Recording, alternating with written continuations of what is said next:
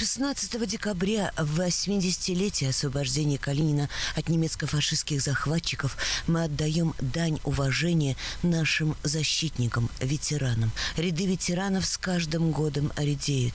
И потому наш долг каждому из них, пока не поздно, относиться с вниманием и заботой. В 2021 году участнику Великой Отечественной войны, нашему земляку Николаю Александровичу Карпову исполнилось 95 лет – Осенью 1943 года Николаю Карпову исполнилось 17, и сразу же он был призван в армию. После ускоренного курса минного дела с использованием служебных собак его в составе учебно-боевого батальона отправили под Псков – там он получил боевое крещение. На минном поле впервые разминировал более 80 мин. За участие в трех разведоперациях, в ходе которых он разминировал на нейтральной полосе 250 мин, Николай Карпов был награжден медалью «За отвагу», первой наградой. Их у фронтовика немало – в год 95-летия список наград ветерана пополнился.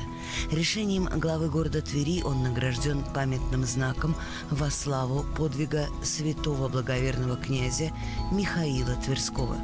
Губернатор Тверской области наградил Карпова нагрудным знаком во благо земли Тверской – в день рождения юбиляр получил поздравительные телеграммы президента Российской Федерации Владимира Путина и губернатора Тверской области, а также многочисленные поздравления от родных и близких, друзей и товарищей. Игорь Михайлович Руденя в телефонном разговоре с Николаем Александровичем, выразив сожаление, что в условиях коронавирусной инфекции не смог лично поздравить юбиляра, пожелал ему здоровья и благополучия. Заместитель главы города Людмила Хоменко вручила Николаю Александровичу поздравительный адрес от главы города Твери Александра Огонькова.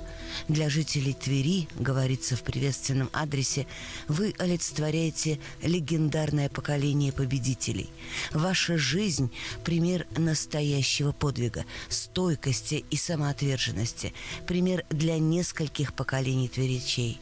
Мы рады, что вы и сегодня в строю. Разрешите мне вручить этот знак. Вот.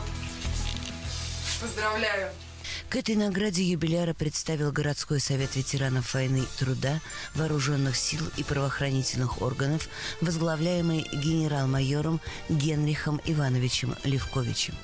Для юбиляра было дорого поздравление главы Островского района Псковской области. В 1944 году красноармеец Карпов участвовал в штурмах города Остров, потом эстонского Тарту, боев за освобождение латвийской столицы Риги.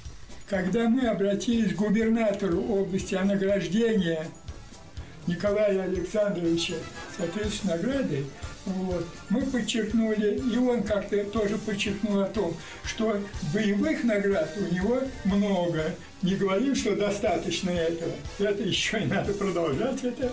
Вот. А э, орден, которым мы его хотим наградить, тоже правительство области, он носит как военную направленность, так и гражданскую, гуманитарную направленность.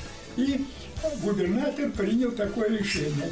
За значительный личный вклад в развитие ветеранского движения, патриотического и нравственного воспитания молодежи в Тверской области наградить знаком губернатора Тверской области во благо земли Тверской Карпова Николая Александровича, члена Тверской городской общественной организации ветеранов войны, труда, вооруженных сил, правоохранительных органов. Настоящее распоряжение вступает в силу со дня его подписания. Ну, вручаем вам само распоряжение. Николай Алексеевич, ну давайте на стол его, да? И вручается вот награда во благо земли Тверской.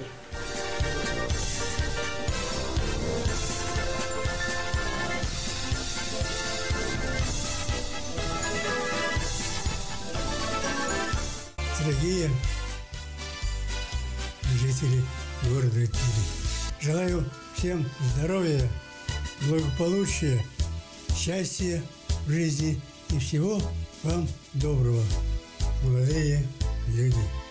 Берегите нашу великую Родину, защищайте ее от всех недругов, будьте счастливы и достойны нашей великой России. Составе парадного батальона Центральной военно-технической школы дрессировщиков Красной Армии Николай Карпов прошел по брусчатке Красной площади в Москве 24 июня 1945 года, став участником исторического парада Победы.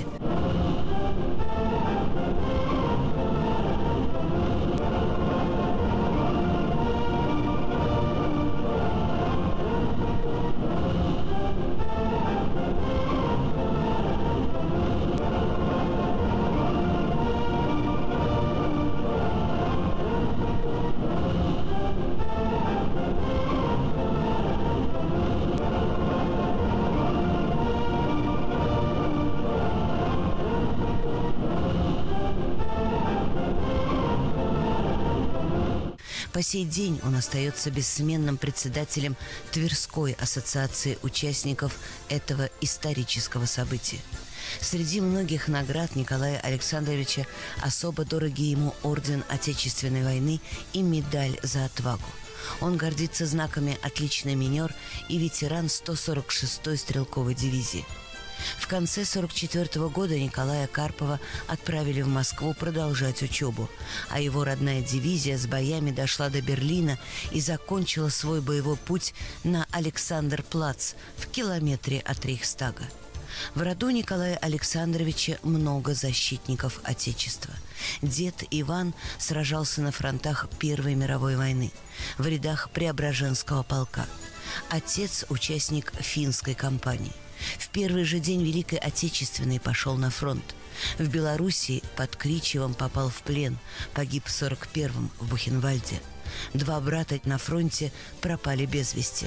Третий тяжело ранен под Сталинградом.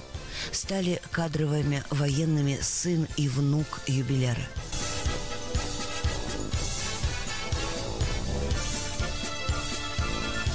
Сын Александр Николаевич Карпов, генерал-лейтенант, доктор наук, профессор. Выйдя на пенсию, я задумался над той проблемой, которая звучит следующим образом – о роли личности в истории. И в частности, о той роли, которую папа сыграл в истории нашей страны. Э, несколько э, книг получилось, но вот это вот я бы сказал, конечная в двух частях, которая описывает боевой путь того соединения, где он прослужил 7 фронтовых месяцев. Дивизия начала свой путь в Подмосковье и закончила в Берлине на Александр-Плац, ну, скажем, в 900 метрах от Рейхстага. Каждый решали свою задачу, в том числе и мой отец. О нем вы слышали, можно еще и почитать.